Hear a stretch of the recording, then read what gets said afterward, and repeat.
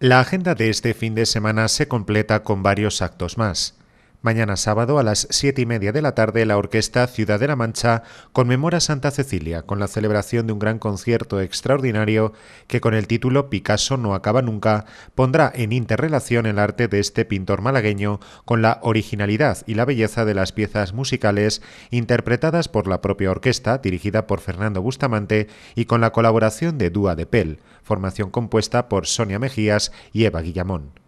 un espectáculo creado para rendir homenaje al artista en el 50 aniversario de su muerte y que tendrá lugar en el Teatro Cervantes, con entradas aún disponibles en la plataforma globalentradas.com. Por otro lado, el domingo a las 10 de la mañana las puertas de Vinícola del Carmen se abren a la solidaridad con la celebración de una nueva edición de su desayuno solidario, que en este caso dirigirá la recaudación obtenida a contribuir en las obras de rehabilitación del tejado de la ermita de la Madre de Dios.